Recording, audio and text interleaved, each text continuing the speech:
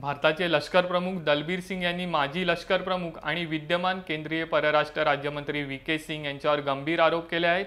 V K Singh यांनी विचित्र आणि अनाकलनीय कारणे देत माझी बढती रोखण्याचा प्रयत्न केला होता असा धक्कादायक गौप्यस्फोट दलबीर सिंग यांनी केला आहे.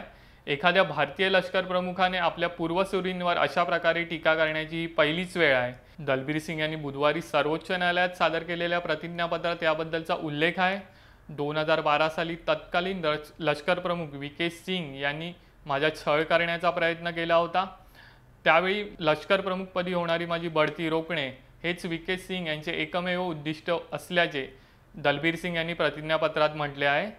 एक एकोणीस मे दोन हजार बारा रोजी मला पाठवण्यात आलेल्या नोटीसमध्ये माझ्यावर खोटे निराधार आणि कपोकल्पित आरोप करण्यात आले होते. तसेच माझ्यावर अवैधरित्या शिस्तभंगाची कारवाई करण्यात आली होती. असेही दलबीर सिंग यांनी प्रतिज्ञापत्रात नमूद केले आहे.